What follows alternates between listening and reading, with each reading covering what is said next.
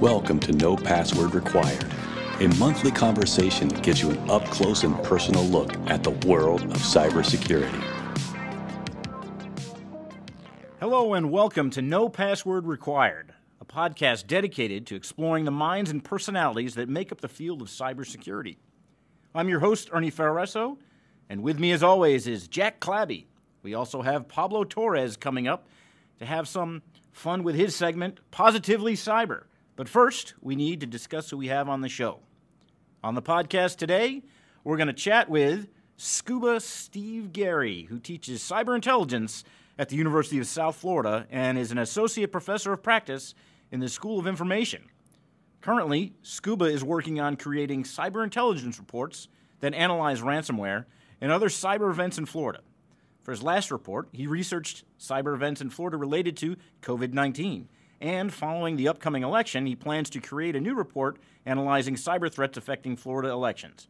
In his spare time, Scuba also hosts a cybersecurity seminar every Monday night for local veterans in the cyber industry and manages the internship program for the cyber intelligence students at USF.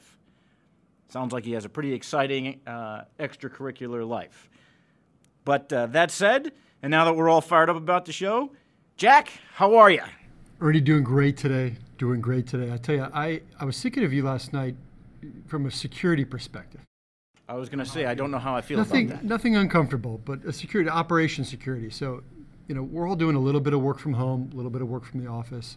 And my kids are sort of doing some in school work and some school work from home. But my daughter was on an iPad last night uh, on the back porch, and she was not using a headset or a microphone and she was talking as loud as humanly possible.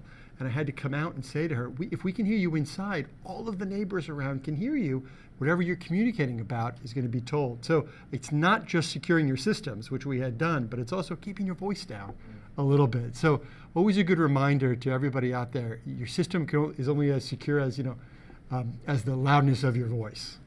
Well, I think that's that's interesting because uh, isn't that always the case? You know, when you're talking on your phone? Well, clearly, I have to speak louder. Why? Well, because the microphone's smaller. Right. With the holidays coming up, remember this too. When you're behind closed doors, if you are visiting your in-laws, right? You know, test it out, right? Talk first and uh, share the normal volume of your voice and say, "Mom, can you hear me?" and see what comes back, yeah. right? But yeah. I think that's a good lesson for all of us here. But we've got we've got a lot going on in Florida these days. We've got a lot going on in cybersecurity. We've had a lot of calls recently um, working with clients on ransomware incidents. Uh, you know, there was an announcement not too long ago uh, by the FBI about particularly difficult types of ransomware that are hitting our healthcare systems, right? Hospital groups in particular. Uh, large dollars, one aspect of these things, right? It used to be a couple hundred bucks, one or two Bitcoin. Now it's really seven figure demands, if not eight figure demands. And the second feature of these really bad ransomware attacks are the extortionate nature of it, where instead of just locking up your data, asking for some money for it to be freed up, these bad guys are taking the most sensitive data, running relatively sophisticated search terms for it, showing you little pieces of it, and saying, we're going to post this up on our website unless you pay us. So it's not just about resiliency and having backups, but what's your strategy going to be if your personal information gets out there in the open. Some scary stuff we're dealing with. Yeah, and that's really interesting um, because, like you said, we've started. If you look back in time, uh, and we look at, you know, the trends that you saw, uh, and as ransomware started to kind of emerge, it was, like you said, the small dollar things. You know, people were holding some of your data, um, and I, and it wasn't until I'd say fairly recently, you know, in, in I guess in geologic terms, um, you you start to see that this is going well beyond the where you know we can pay it and we can get on with our lives. Now we're talking, uh, you know, significant business disruption. You're talking about companies and organizations that can no longer work.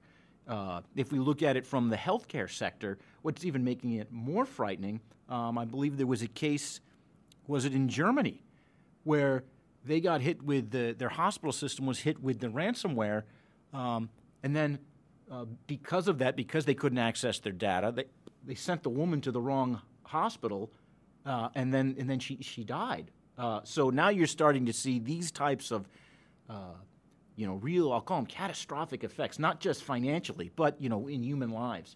Um, so you know, ransomware and how complex it is, how it's moving forward. I think it only it only gets worse uh, unless we we take a, a, more holistic view. Like you said there, Jack, that it's not just yeah, pay the fine, back up your systems, and off you go. It's okay. Well, now our data is out there, the sensitive data. What you know, what's the plan? Yeah, and so we're getting some help. Um, you know, there's the FBI is being very proactive in sharing not just that this is occurring, but the technical details of what the bad guys are up to, uh, opportunities to patch, opportunities to look at systems and prevent these things. So it is helpful, you know, if, if our listeners are involved in protecting the outside of their of their organizations, you know, there are resources that they can look to uh, to get uh, to get some assistance. You know, but at the same time, right? You know, so last month, this is in October, you we're getting this announcement about specific good intelligence about the threat to the healthcare sector. But in that same week, there's an announcement from the U.S. Treasury Department, two separate entities in U.S. Treasury having to do with ransomware, neither of which are helpful. I'll just give you a, a quick snapshot on what these things are. All right, you know, there's always been that risk that if a company pays a ransom to someone who is listed on sort of let's call it the U.S. banned entities list, we call that the OFAC list that they could be seen as supporting terrorism. It, from a practical matter, that was really unlikely. And if you were using a third party to help facilitate the payment of the ransom, they had the list available. It was very rare that the list would ever match up against any known bad guys. Believe me, if we had this kind of intelligence on the bad guys, they wouldn't be out there anymore, right? But the latest announcement from uh, from both OFAC and from another entity at the Treasury called FinCEN, right, which is a sort of crime section of the Treasury. Uh, it basically said, hey, if you're someone who's working with companies and helping facilitate the payment of crypto or any other funds to pay a ransom, you may be what's called a money transmitter.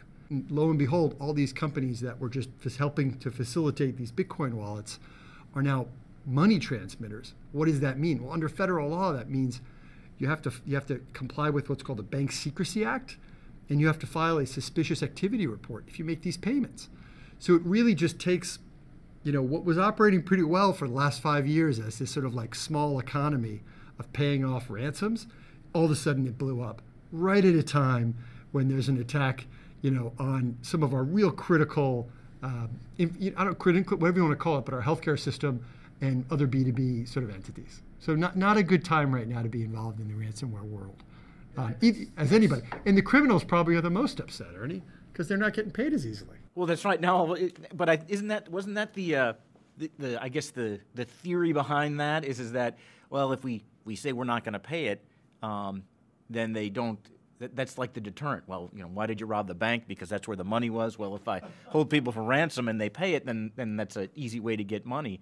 Um, what's the philosophy behind that? I mean, does it actually because I know you you get you kind of conflicting guidance, so to speak. There's the there's the legal, you know, we don't deal with terrorists, don't pay off the ransom, but then there's the practical part of it of the criminals are actually pretty savvy in the sense that they know that they're not going to go and ask for a, a huge exorbitant sum of money from someone who can't afford that.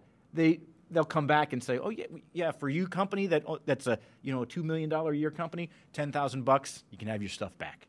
Yeah, I hope you know it, it, may work, right? So it's one of those things like a like a I don't know if it's a tragedy of the commons. I don't know what the the, the philosophical point would be, but look, it's bad that we pay ransoms. If everyone just decided tomorrow we're never going to pay ransoms, sure, it would really affect this. Uh, but it's like public schools, right? Public schools are great, but uh, the one in my neighborhood isn't that good. I'm going to send my kid to private school, right? It's we all kind of know what's good for everyone, and I think the government's trying to nudge us without going out and arresting everyone who pays ransoms. They're trying to nudge us in the direction, and it may work, it may not. Um, you know, I love talking to insurance professionals about this because the, the government has good help, and the government can, you know, talk about what should happen. The insurance professionals tell us what does happen because it's their wallets that get opened up to pay a lot of these ransoms, and they're paying. Yeah. The companies are paying, right? It's pretty rare that you call up your insurance company and say, hey, uh, just want to let you know we got a ransomware incident, and yeah, we're not interested in learning about paying. We just wanted you to maybe help us with the forensics costs.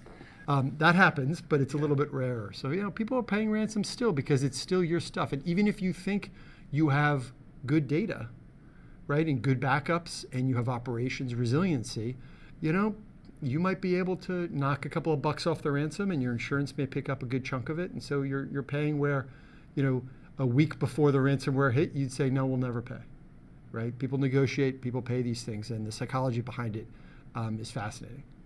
That's why we always tell companies make a plan in advance and then stick to it. Yes, yeah, stick to your plan. I would also add, uh, you know, make a plan, stick to it, and if possible, practice your plan. Yeah. Uh, that, you know, how many times? Oh, we've got backups. Well, do they work? Well, uh, I don't know. Okay. But all this talk of ransomware and the complexities and the ins and outs of it, um, very apropos because uh, we're going to talk with uh, our guest here, uh, Scuba, Scuba Steve here, uh, right after the break. Have an idea for a guest or topic? Send an email to info at nopasswordpodcast.com. All right, welcome back. Our guest is Scuba Steve Gary, University of South Florida Associate Professor of Practice in the School of Information. Scuba, welcome to No Password Required. Thank you, Ernie. Glad to be here. Listen, uh, so for those of you who don't know, Scuba uh, and I go back a long ways back, at least at least two three weeks, um, uh, at yeah, maybe four, yeah, at USF. Um, he's been a, a great friend of uh, Cyber Florida, um, and uh, and the other part that uh, you know I, I, won't advertise for him, but I'm going to say it anyway.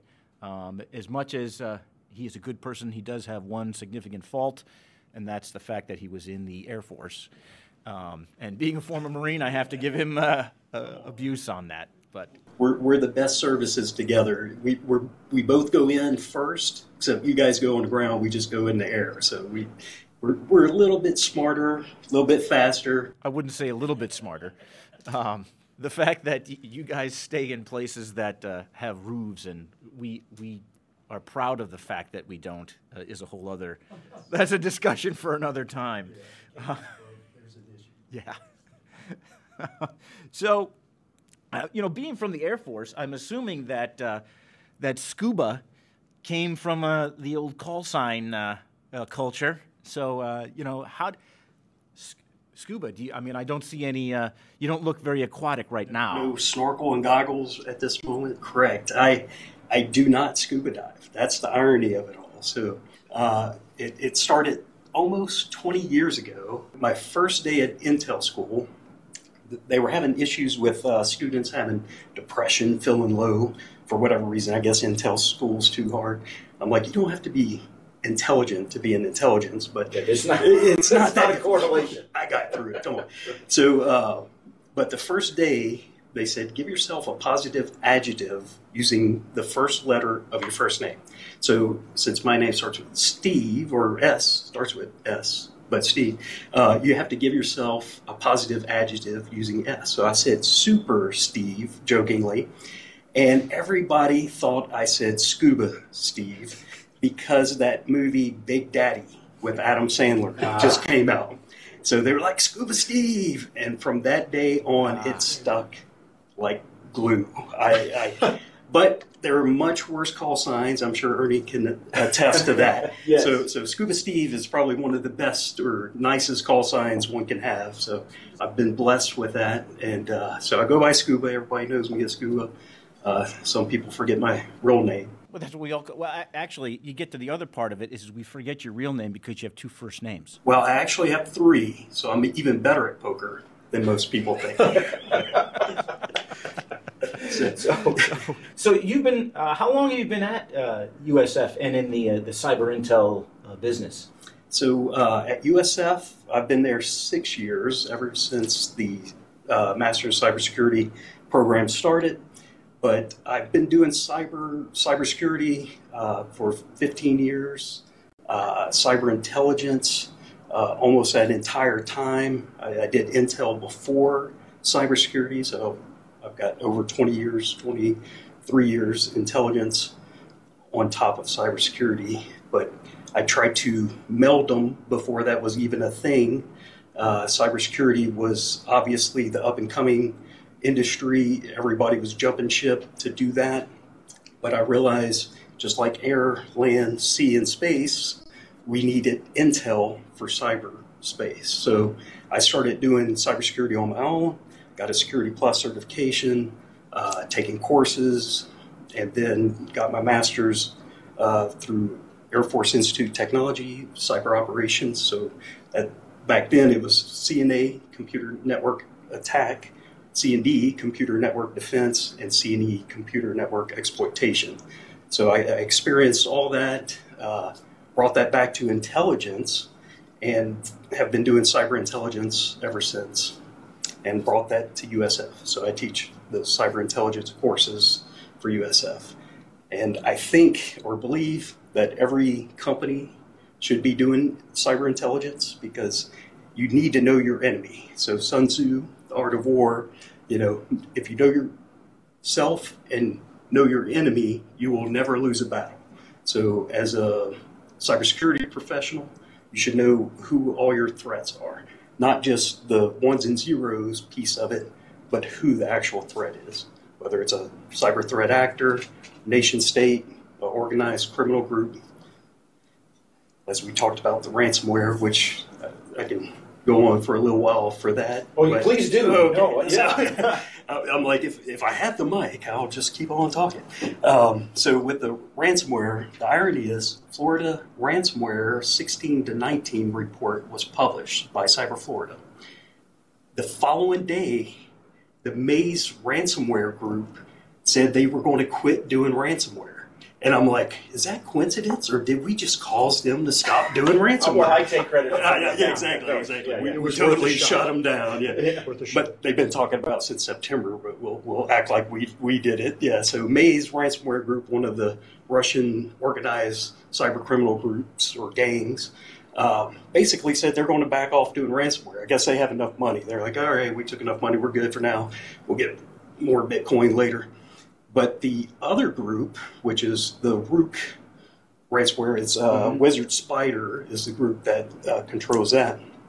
They are the ones primarily behind the hospital attacks right now, and so they're being very active, taking advantage of our current situation. We've got elections going on, we've got everything going on, but because of COVID, they realize, especially with the recent surge and spike, they can make a lot of money because the hospitals need to operate during COVID. So they're taking advantage of the situation and hitting all the hospitals, which, like we talked about, Jack, is that it's it's obviously not the hospital's fault when they're you know compromised or there's ransomware on their network, but it's the criminals' fault, the the ones that are actually doing it. So, and that goes back to cyber intelligence. It's our primary focus is the person behind the keyboard. So computers don't hack computers. People hack computers. So, so we need to go after the people behind the keyboard. One of the and one of the questions that comes up a lot when we're working with with companies who are in a ransomware event is this idea that it, it is a breach and it is an installation of malware that is ransomware, right? And with the sort of wizard spider operating uh, the way they operate, it's there's an exploitation. They might buy the exploitation, right? They might not even hack it. They acquire access, and then they wait. They're in there and looking around and timing it, and it's not it's not as if they get in and then immediately they deploy their their stuff, right? There's a waiting period where they're timing it. Is that am I understanding that right? Like how does that? Correct. So right now, one of their primary tools is the TrickBot Trojan. It's been used in uh, banking uh, breaches in the past quite a bit. So, what they've been known to do, and this goes across the board, is they monitor the network, uh, whether they're monitoring emails, so they can see how to uh, craft a phishing email. That way, whenever they send it, it's you know it looks legit. It could be from the CEO or CFO, whoever, some senior person within the organization and it's like you know read this this is your salary upgrade or whatever you know whatever the case may be. And people are just eager to click. And next thing you know you have malware or ransomware on your network. They are very good and keep getting better just because just like anything as we prevent something they figure a way to, to get around that. So you know stop the phishing attacks. They'll they'll find another way in. But right now, the phishing email works, so that's what they're using, and it's been 100% success rate uh, as far as they're concerned. But you know, it's a numbers game. They're going to hit as many hospitals as they can, and somebody's going to click. These are, I mean, what we're talking about now. Your experience here comes from a variety of different places, right? A lot of military service, a lot of training at different points in your life. And when you're teaching, you're teaching to students who are teenagers to some degree, right? I, I, you know, there's that phrase, college is wasted on the young. But what is it? What does a profile look like of a student who does well in your class? Okay, that's that's a good question. So typically they have straight A's. Fortunately, with our program, I, I think we've uh, been mainly focused on diversity because bringing diverse students into the program is the right thing to do. I've had students who can't spell cyber to those that can spell it in binary. So, you know, to be able to bring all those students up to a certain level where they're they may not be the masters of cybersecurity uh, yet, but they all have a good understanding and can do cybersecurity to a degree. And that's that's really what we're looking for is the, the eagerness from the students to learn cybersecurity whether they were lawyers or nurses or whenever they come in, they're so eager about learning cybersecurity, and it's something they bring back to wherever they come from. So the financial yeah. industry here is huge. So a lot of individuals from the big banks come in, learn it, go back, and are able to apply it because they understand the finance side as well as the cybersecurity side now. What's the interest in government service from your students, right? I mean, because you know, we were joking around about it, about how sometimes the government helps and doesn't. But you know, for you, me, Ernie, we all did some form of government service. You know, are you seeing that interest in your students? I would say the majority on the intelligence study side want to go work for the intelligence community. On the cybersecurity side, uh, it's probably 50 50 or maybe even 75 uh, private and 25 public.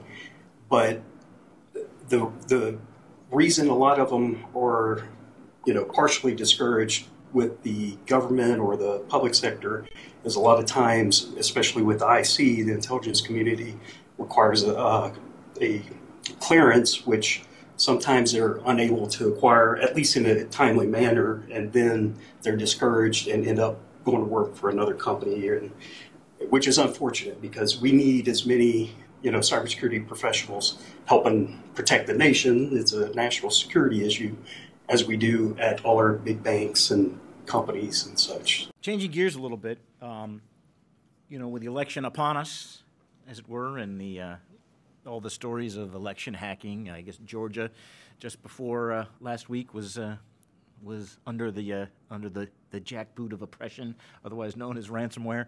Um, if you were appointed the uh, election cybersecurity czar. What's the uh, what's the you know what are you doing on day one? Uh, probably resign. I think czar is a, is a Russian term. Yeah, so yeah just I'm not saying it. Was it carefully chosen word? Yes, yes. Maybe you know understand your enemy. I'm sorry, did I say the Russians on the and, and I am a Russian interpreter, so I can right. translate right. and interpret no problem. So, but the uh, the first thing I would do, honestly, is call Cyber Florida and say, "Hey, Cyber Florida, can you help out? Help me with this this monstrosity of uh, election systems that we have here in Florida." But the the reality is, just like industrial control systems, election s- systems should be uh, on closed systems, basically, because anything connected to the internet is vulnerable. Whereas if it's a closed system, at each county or you know uh, polling station, they could either put it on an encrypted USB or something to that level, bring it physically. Again, physical security is huge. You know, you were talking about your daughter speaking loud. That's physical yeah. security. You know, it's like you you need to be able to have the physical security, which is probably more so important, as well as the virtual security and you know all the firewalls and all that stuff. But from this aspect, if it's a closed system, they could easily have the information, the votes basically, you know, whether it's spreadsheet, whatever, you know, easy format, and then pass it up to the county, which passes it up to the state, and then you have it all together aggregated. You know, it of course requires a little driving unless you're flying a helicopter or a small plane or something. But other than that, you know, we could have it all central. Yeah, we could have it all centrally located at UCF or something, you know, Central Florida. That way, you know, all of it comes together um, at that point. But yeah, if it's if it's exposed to the internet, um, you know, somebody's going to do something. It's amazing how we can run elections in other countries right, with greater speed and, and, and confidence than we can in our own. And I, I, it's almost like we should back out and sort of just treat it like like we're not. I remember, you know, I think it was 15 years ago, the Iraqi free elections, where everybody walked out and they had a finger covered in ink. And that's like, yep, no election fraud there, right? Yeah, right, exactly. Yeah. Unless you wrestle your buddy down and put their finger in ink because they're going to vote for the other guy, right? But, yeah. but yeah, you'd think that there would be. I mean, are are there teams deployed now? Maybe you can't tell us the answer to this, but I want to assume there are teams out there protecting our election systems right now. There are, and until we all have basically a, a uh, election system that we use nationwide, you know, that's the issue. Is each state.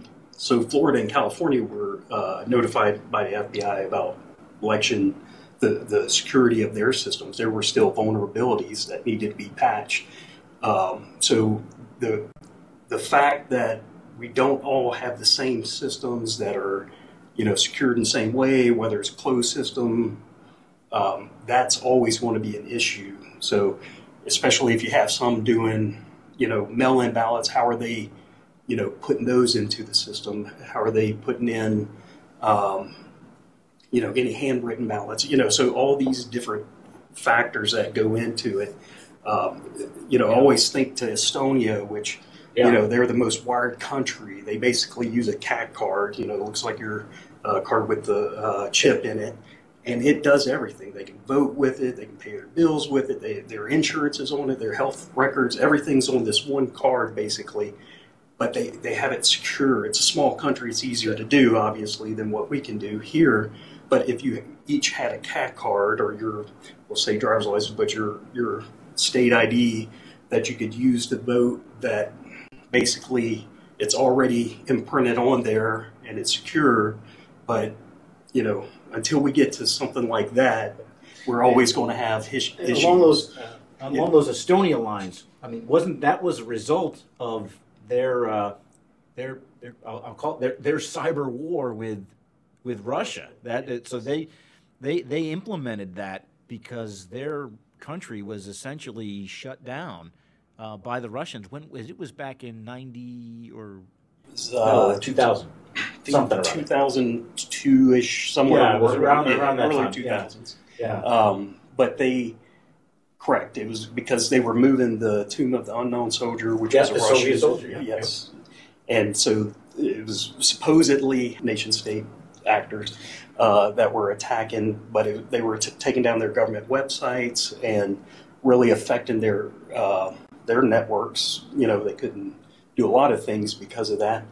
And not only did they uh, build up their resilience and cybersecurity within the country, right. they also moved the NATO cybersecurity center to Tallinn, Estonia. So yeah, Estonia is uh, if you're if you're in the uh, the NATO cyber business, Estonia is the place to be. I mean, it's great to see, though, a solution that isn't a retreat from technology, but a solution that is let's just do it the right way, right? Let's unify it, let's push, and let's develop something secure. We don't have to go to dipping our fingers in ink.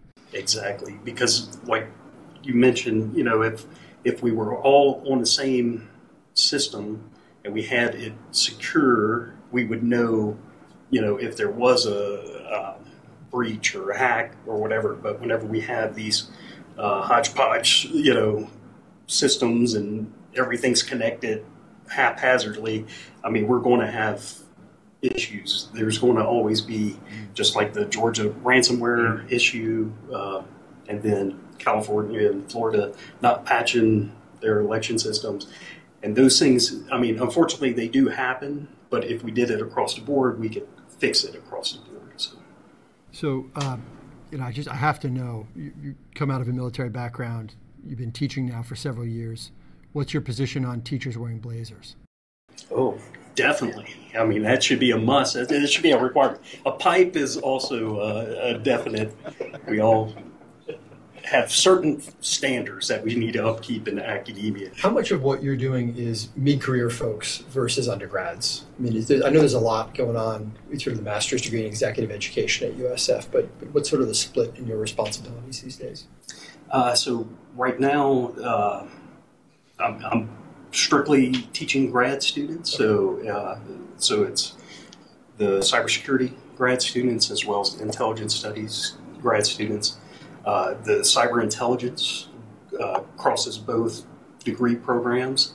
So basically, the way we look at it, you have cyber, cybersecurity professionals looking to learn some intelligence, and then you have intelligence professionals looking to learn some cybersecurity. And uh, so we kind of bridge that gap.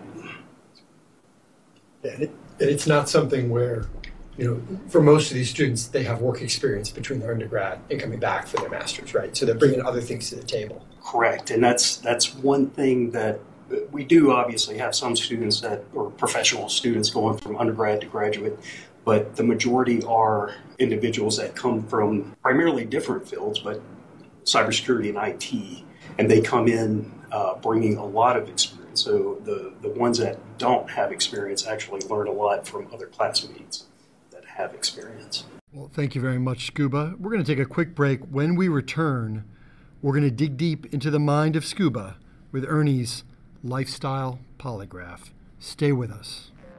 You are listening to the No Password Required podcast. We cover cybersecurity and a lot of other stuff. Welcome back. We're about to find out what really makes our guy Scuba tick. Are you ready for the lifestyle polygraph? Uh, depends. Is that a CIA lifestyle polygraph? because if it is, uh, I won't pass. I'm not sure how I feel about that, but this may be worse. Okay, more invasive. Way more invasive. And so it's a series of six questions. Um, it's kind of a, a, you know choose your answer, uh, you know, in either or. So we'll start with this one. It's pretty easy. It's softball. Is the pen mightier than the sword? Yes, but the keyboard is mightier than the pen. Whoa, nice. Well deep, played, sir. That's deep. deep. That's good stuff. That's right. So, yes, these hackers don't need pens, don't need swords. They are able to get in just by a few keystrokes. It's very wise. Okay, number two. More difficult. Appalachian Mountain Moonshine or Napa Valley Wine? Ooh. Well, I would definitely go with the moonshine, of course, but that's that's only if I don't want to be coherent. If I do want to be coherent, I will do the Napa Valley wine. But, Situationally dependent, I guess. Yes, yeah. yes. But like a good moonshine with flecks of something in it still pieces yes. of corn still in the moonshine. I would say 2020 is a moonshine year. Just throwing it out there. So. You're probably yes. I'll get the T-shirts made up now. That's right. That's right. I want one. okay, here you go. This is this is a tough one. Better crime fighter, Scooby Doo, or Flipper. T.J. Hooker. No, that wasn't one of them. Sorry, that was sorry. an easy one. That was that would have made it easy. Obviously, Scooby Doo. I mean, really? not only because his name is very similar to mine, which is you know, cool, but I mean, they got a cool mystery van. I mean, they Scooby Doo can kind of talk, you know, raggy. I mean, yeah, yeah, yeah, yeah, close enough. Where Flipper just makes all kinds of noises. You need a translator, you know. Plus, Flipper can't go on land, where Scooby Doo can go anywhere that's and true. I think Scooby can actually type. I haven't seen him do it, but I'm pretty sure he can. So he could actually do some firewall setups and maybe do some other cybersecurity stuff that we we don't know about. He can always get with Legrand, do some digital forensics, and go that route. So well, that's right. I, actually, I think Legrand was on an episode of Scooby Doo at was. one time. I yeah. think he was. Um, and then he took his mask off. That's right. And I, I the phrase, uh, uh, I think he would have gotten away with it if it wasn't for those meddling kids. Yes. Um, yeah. so Scooby Doo is in the lead on this one. Very good. Excellent. Yeah. Yeah, I can see where you would get with that. Yeah, Flipper. I mean, he's limited, um, and then also he's limited geographically in the sense that he only really worked uh, the greater uh, South Florida scene. Yes. Yeah, you know, he really didn't uh, you know, travel much. Yeah, uh, and I, I can't think of any times where he got help from the Super Friends No, or, or the Harlem Globetrotters for that matter. that's a good point. Yeah. That's right. Okay, we're going to travel back in time to a young, uh, young Scuba Steve. Uh, back when you know the you, maybe, maybe you had the facial hair, maybe you were one of those kids that at the age of ten you had a beard. I don't know. I don't know. um, so you're going to go to camp, space camp, or meatballs camp with Bill Murray. Ooh, that's that's even tougher. Yeah, these are good ones. Um, I would just have to go with Space Camp because I was a big nerd. So Really? yes, so definitely Space Camp, especially now with Space Force. Had I not retired from the Air Force, I probably would have put my hand up and said, "Put me in. I want to work with Steve Carell." Oh wait, that's that's the show, not not the real thing. But You're telling me John Malkovich is not the science advisor to the Space Force? I thought he was. Oh, I was gonna say, that's- French, but- But honestly, I did go to a math club competition whenever I was younger, and those guys know how to party. Everybody thinks nerds are just, you know, it, they're like band geeks. Come on, they, they that's it. Everybody watched American Pie band camp. So that's that's all I got to say. But And even if all of them don't party, like the 10% or 20% who do are like really hardcore, yes, right? Like, yes. You got to be very serious for that kind of stuff. I feel. Yeah, I, I went to that math camp thinking, uh, you know, it's going to be boring and no fun. And no, I, I realized quickly that they know how to party. So, math camp. You know, that's there you go. This is something that you know we're going to put that one on the parking lot, and we'll, we'll come back to that one because I, uh, you know, I think that one that's something out there for the kids out there. yes. You know, we're trying trying hard to get students, get kids interested in the STEM fields. Well, apparently the M in STEM, that's where you want to be. Yes. That's where you want to be. Okay, here we go. Number five. Better use of technology: smartphone or Atari. Hmm. Well, I could break more stuff with an Atari than a smartphone. It's a lot bigger and heavier and stuff. But, um, so as a, as a kid, I played Atari, but I kind of stopped there. I, did, I, I never was a true gamer and went through all the different gaming systems. So Atari was definitely my gaming system back in the day. I mean, anything from Donkey Kong, Space Invaders, you name it.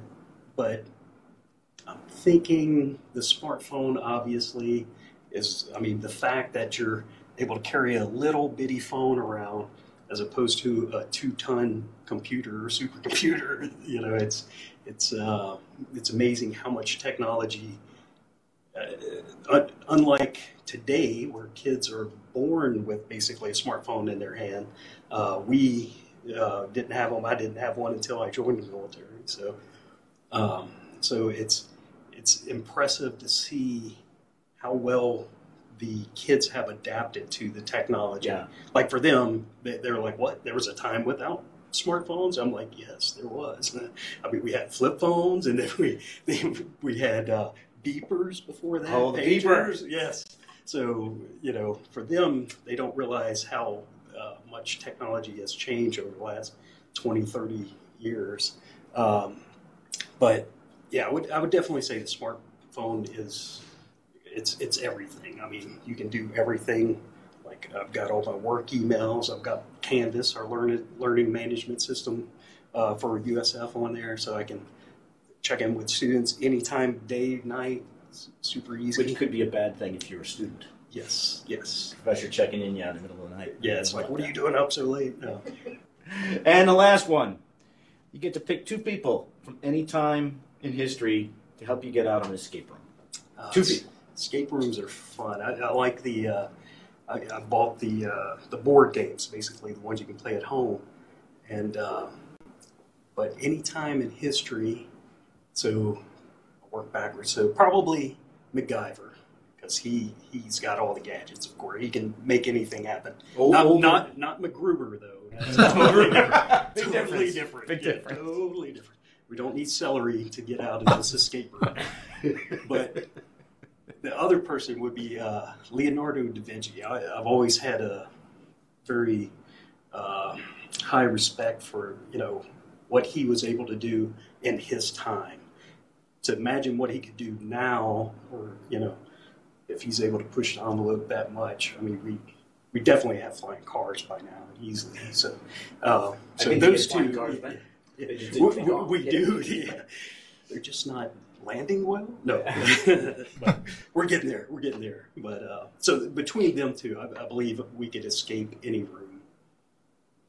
So, so you're not a gamer now, um, but you, you know, you teach in a field where I think there's a lot of folks. I mean, everybody plays streaming video games. uh, At least not everybody, but a- a lot more people do it than I think you would think, right? You know, do you ever talk with your students about sort of their their time on Twitch or their sort of their gaming habits?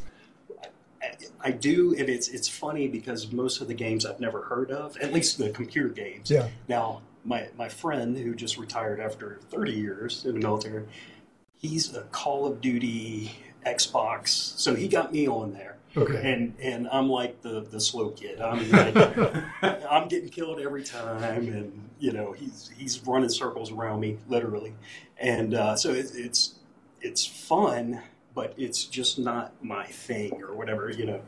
And the kids today, I say kids because most of them are adults, um, or like closer to my age actually.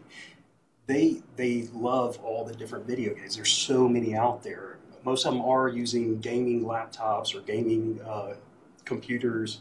Um, they have to have the latest and greatest gaming console.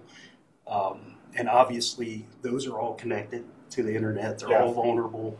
We've obviously seen, you know, where Xbox and PlayStation, they've all been uh, breached or hacked at some point. But from a gaming perspective, um, it, it blows my mind how many different games there are, which means to me that there's that many more avenues to get in to Yeah. the systems and stuff.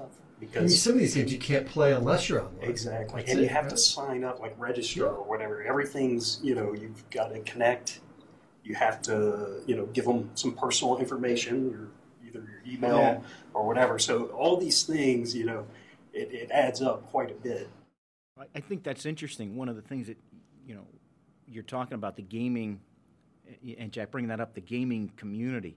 Um, if you think about it, uh, we saw probably, I guess, a couple, maybe three years ago, you, you started seeing some of these, um, you know, the, the the Xbox accounts being stolen, um, and now uh, I would be interested to see if you're going to start to see more. Um, I'll call it, you know, botnet type activity using some of these gaming consoles and computers because you're talking uh, these computers and systems have, you know, the pro- uh, i- i- incredible po- uh, processing power as compared to others. I mean, if you want to talk about, um, there was a time, and I'm, I'm sure they're still doing it, where you, these Bitcoin mines, they're going out and buying, you know, just a bunch of GPUs and stacking them all together so they can mine Bitcoin. And so, you know, now, you know, you've got a bunch of these, you know, high sp- high speed processors. Uh, you know, maybe, you know, I, I do, what do you think about? Uh, is that is that is that the future, or is that now? Uh, yes, both. so yeah, for di- distributed denial service attacks, I mean, you can easily, you know, use. Uh, I guess we already talked about IoT devices a little bit, Internet of Things devices, but same concept. The more th- things you have connected, the more things the bad guys can use for a DDoS attack or crypto mining or using your processor power without you knowing it for other malicious activities. So uh, they've had the coffee pot that was sending out spam, and Yeah. Yeah, yeah. you know, so there's you know so many different uh, IoT and um, connected devices that will or can be used for bad, and um, because I think that'll be interesting to, to see. And, and I, you know, thinking about it, if we're talking about you know AI, artificial intelligence, machine learning, and this has a you know is going to have a significant drain on processing power. Now, let's figure out somebody now can tap into this this network of a lot of processing power maliciously. So now all of a sudden you can, I mean, is that good? That I don't know. Is that going to be one of these things that we need to be worried about? That the botnet of Xbox that turns out to be Skynet, and next thing you know, Arnold Schwarzenegger shows up. It, it very well could be, especially as these, uh, like you said, the gaming systems are getting faster than some of the computers, the processing power. The new Xbox just came out, new PS4 or 5 came out. So we have all these new gaming systems that are um, just very powerful. So if you did connect them all, you have basically a supercomputer at that point, and you know that that can lead into not only artificial intelligence but um, uh, decryption Yeah. of you know all our Yeah, you start running library attack using you know a bunch of gaming consoles with their processing power, and So- you can probably burn through that stuff a lot quicker, right? yes. Do you lean in? So you know, in your in, in your personal stuff, like, do you lean into technology, or you know, are you still reading a paper book? What do you- So, I do pretty well everything on a laptop. Okay. Um, so I, I very seldom use paper books now, and that, partly because all the courses you take at universities, it's all you know PDFs or documents at this point, pretty much. You know, I mean, you can still get the hardback, but uh, the cost of a hardback isn't. Um, really worth it so and plus you can search pdfs and stuff like that so it makes it a lot easier um, The but PDF killed the cliff note. yeah, I know. I know. Old Cliff Notes. Yeah, that was my favorite. But yeah, knowing um, where we're headed uh, with academia, yeah, I, I foresee uh, almost everything being online. It's, it's definitely, um, but I mean, we still need obviously all the books, the libraries, but whether they're virtual or physical. we try to use you know the concept of you know video conference bingo, which is at the beginning of the day, create a grid of all the Teams, Slack, uh, Zoom. We use one called LoopUp, which no one really No, has, has heard up to, but it's very secure, so we use that one here, and um, put them all together, and then over the course of a day, cross off the ones that you use, and if you get You three get in a bingo. row, you get video conference bingo. And, you know, Nice, nice. Yeah, You get a Carlton Fields coffee mug. that's right. We'll get Yeah, it yeah, exactly. exactly. I know there's so many apps and different ways to communicate now. So, uh, but yeah, fortunately, uh, because before we were having to use either Skype or Zoom, whatever we could get, you know, our hands on, basically, or go through uh, what Canvas has. But but fortunately, Teams has been, at least for us, very successful. You know, hasn't been dropping or any issues. And uh, but at first, I thought you were going to say the, the like bingo with different people on the screen. Oh, I like that Hollywood idea. Squares, Yeah, yeah. Hollywood Squares, and then, That's a great then- idea, too. Be like, all right, if we have three fall asleep going, you win, you know, or something, you know, three get up at the same time or something. Um, yeah, because yeah, the, the Zoom stories every every day I hear you know a new one. Of course, you know people forgetting their cameras on, doing something, or uh, forgetting to wear pants and taking their I don't know phone. how you forget to wear pants. Yeah, yeah.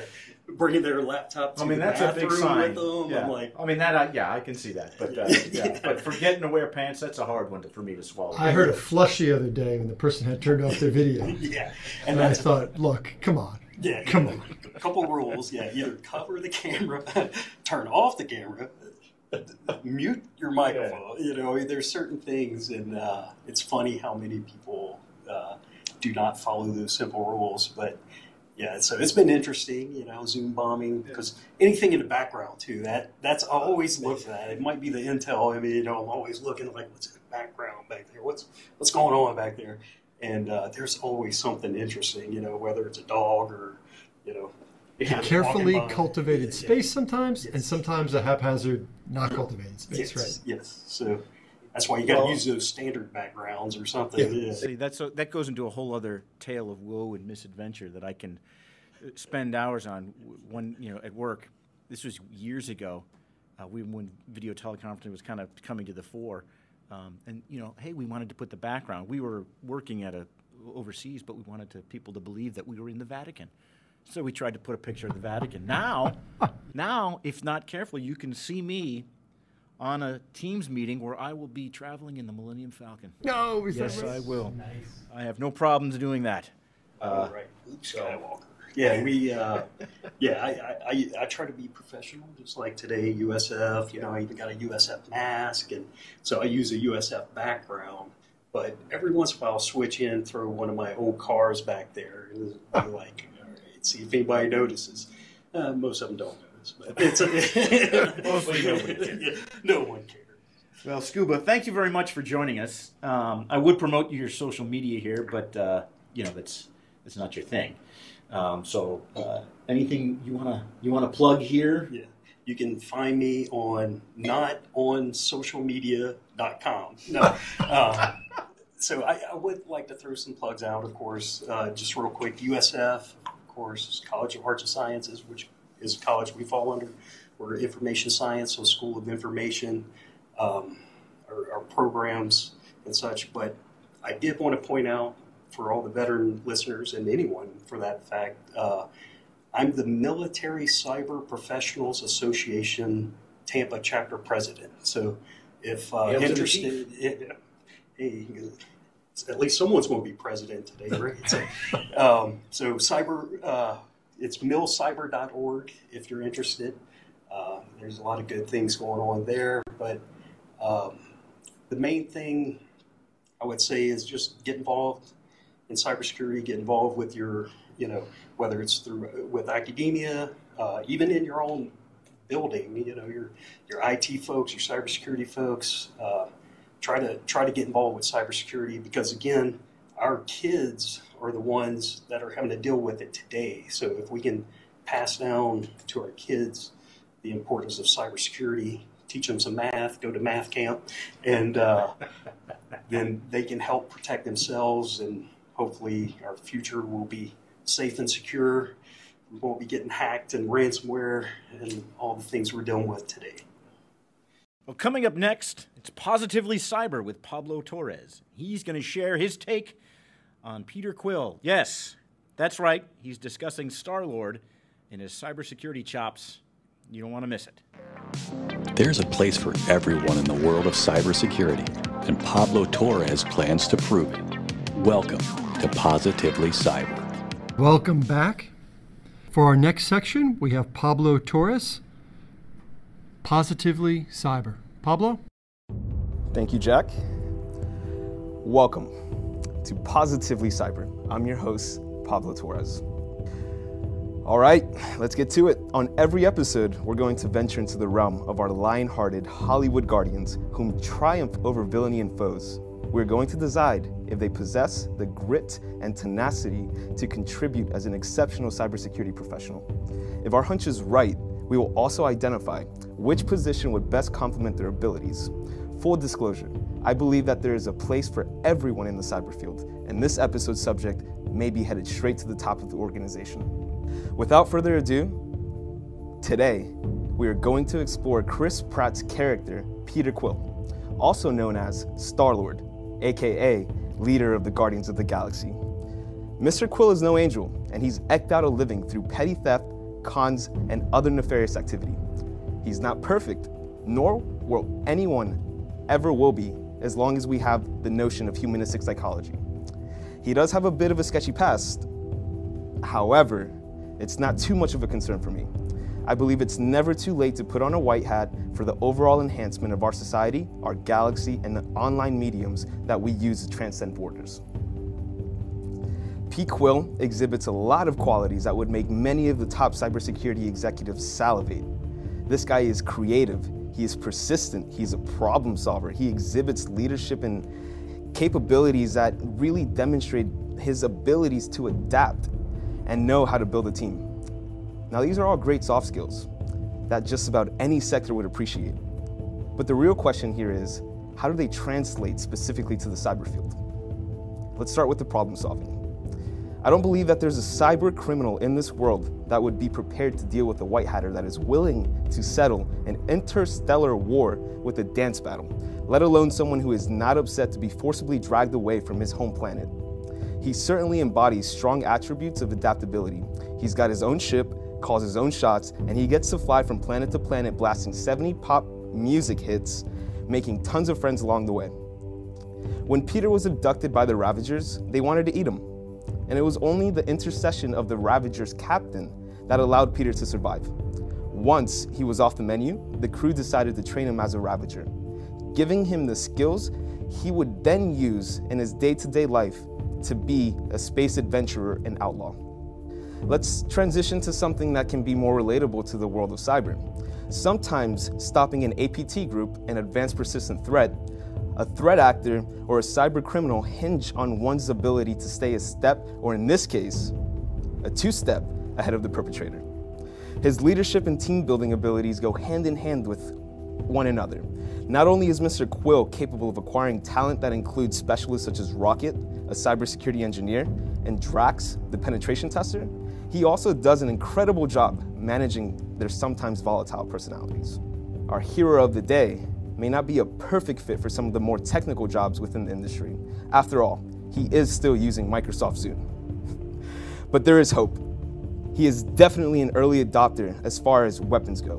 While we are at it, let's be frank. Cybersecurity at its core is an ever evolving battlefield.